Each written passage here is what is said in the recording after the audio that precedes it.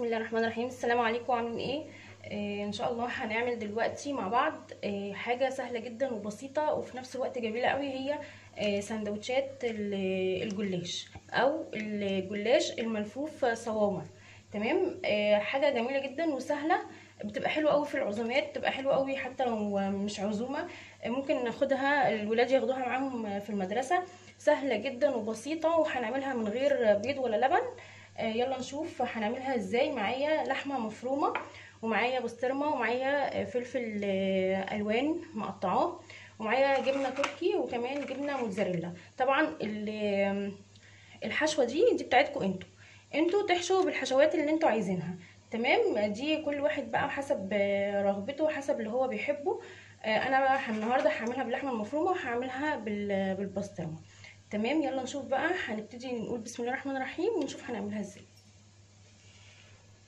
بسم الله الرحمن الرحيم. أنا جبت بوله هي فيها زيت وفرشة وكمان جبت الصاج اللي هرص فيه سندوتشات الجلاش ودهنته زيت كويس. تمام؟ هنبتدي بقى نشوف هنعملها إزاي. الجلاش اهو مفرود تمام؟ زي ما أنتم شايفين كده. هبتدي اخد ورقة واحدة بس منه وهدهنها كده.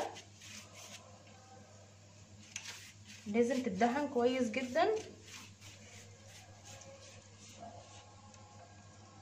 عشان ما يطلعش معانا مكتوم ويبقى مورق لأن إحنا هناخد ورقة كاملة وهنلفها. كذا لفة. فعايزينه يبقى فيه مادة دهنية كويسة علشان ما ي... زي ما قلت لكم ما ي... ما يتكتمش يعني مننا. خلاص هنبتدي بقى بال... بالبسطرمة. نحط كده. نطلعها من الفريزر. تمام؟ نحط شوية برضو فلفل. شوية جبنة. شوية جبنة تركي. ما تكتروش من الجبنة التركي علشان في بسطرمة والبسطرمة حادقة. هناخد بقى ورقة زي ما قلت لكم ورقة أهي. ونلفها كده. تمام؟ نحط برضو زيت كده. بس برضو ما تكتروش قوي. أهو.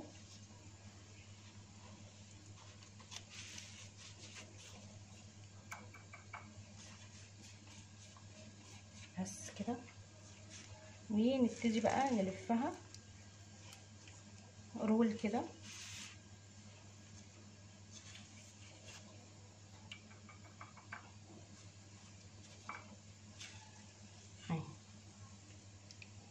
شايفين شكلها جميل إزاي؟ نحطها بقى في الصينيه نعمل كمان واحدة.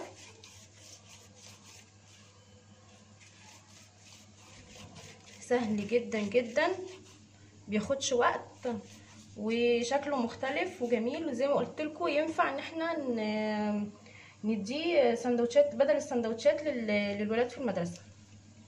تمام؟ نحط كده. برضو ما نكترش الحشو قوي علشان نعرف نلفه.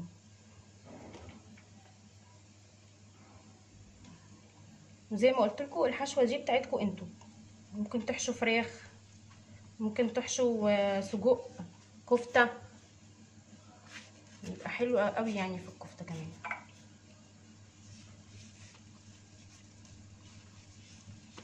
تمام كده؟ شايفين سهل إزاي؟ أنا على طول بعمله في رمضان لما بيبقى عندي عزومة في رمضان أو حتى مش عندي عزومة على طول بعمله بيبقى جميل جدا. وبيعجب كل اللي بياكلوا الصراحه شايفين حلو إزاي؟ شكله جميل جدا.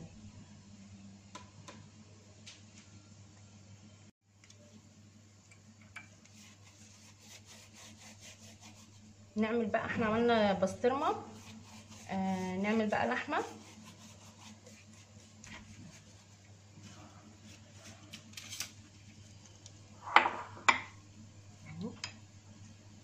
هناخد معلقة كده.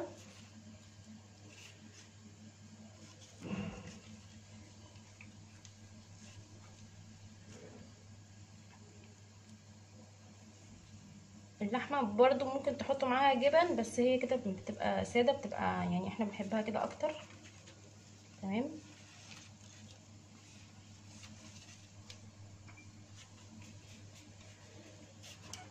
عشان برضو يبقى فيه اختلاف في الطعم ما يبقاش كله فيه جبنة.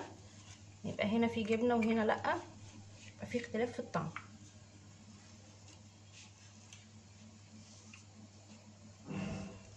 أهو.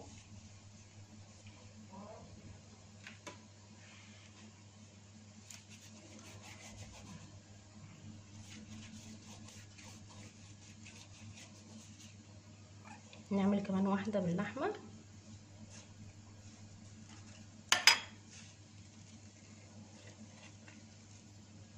هي ورقة واحدة ما تكتروش عن كده. تمام؟ لانها هي بتتلف كذا لفة. خلاص؟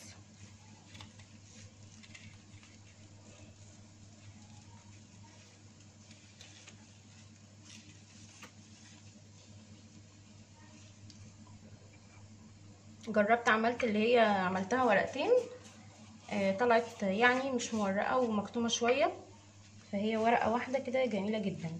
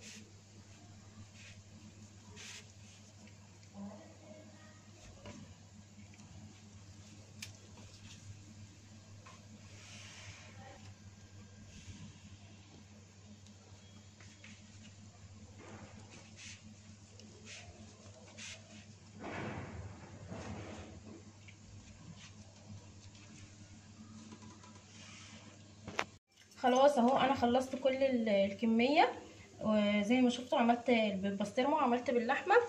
وهعمل بقى إيه؟ زي ما قلت لكم برده مش هحط عليه بيض ولا ولا ولا لبن ولا اي حاجة هدهنه بس كده من فوق آه، بزيت كويس جدا.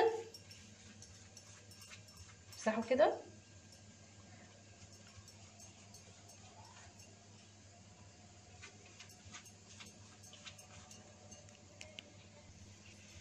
خلاص اهو خلصت هحطه بقى في الفرن على الرف اللي في النص لحد ما ياخد لون والجلاش يستوي وبعدين لما اطلعه ان شاء الله هوريهولكم. بسم الله وادي الجلاش اهو طالع معانا من من الفرن. طبعا سخن جدا جدا. بس كنت عايزة أوريكم حاجة قبل ما أحطه في الطبق شايفين؟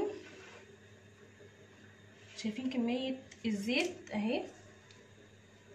أهي. كل الزيت تقريبا اللي أنا حطيته أو معظمه نزل منه. يعني متقلقوش خالص من الزيت اللي أنا حطيته أنا مش حاطة أصلا كتير وكمان هو بيتصفى آه لوحده بعد ما بيستوي تمام؟ خلاص أنا بقى هصفي كل الزيت ده وأحطه في طبق وهرجع لكم تاني. خلاص آدي الجلاش أهو خلص معايا. بعد ما شلته من الصاج وحطيته بقى في طبق التقديم زي ما أنتم شايفين كده جميل جدا. شكله تحفة. لو عندك عزومة بجد هيشرفك. وزي ما قلت لكم ينفع في المدارس بدل السندوتشات يعني تغيير كده للولاد بالنسبة للحشوة زي ما قلت لكم دي حاجة بقى اختيارية ترجع لكم أنتوا. ممكن تعملوه على فكرة ببواقي الجبن اللي عندكم. أو لو عندك فراخ أو عندك لحمة أي حاجة ممكن تحطوه فيها. بيبقى جميل جدا آه، وشكله مختلف وحلو ومقرمش اهو. شايفين مقرمش إزاي؟ أنا حطيته في الفرن لحد ما خد لون من تحت ومن فوق اهو. بس هو طبعا سخن جدا مش هعرف اقطع لكم واحدة. جميل قوي ولو عندك عزومة برده يبقى حلو جدا. آه، يا رب بقى يكون عجبكم. تابعوني على القناة علشان يوصل لكم كل الفيديوهات اللي أنا بنزلها. وفعلوا زر الجرس علشان يوصل لكم كل فيديو أنا آه، بنزله على القناة. أشوفكم في فيديو تاني على خير إن شاء الله. والسلام عليكم ورحمة الله وبركاته. مع السلامة.